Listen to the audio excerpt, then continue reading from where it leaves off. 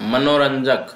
आइए जानते हैं मनोरंजक वर्ड का इंग्लिश में क्या मीनिंग है।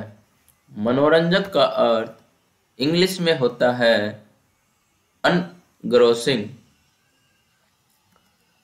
उदाहरण के लिए, मुझे फ़िल्म शुरू से अंत तक पूरी तरह मनोरंजक लगी।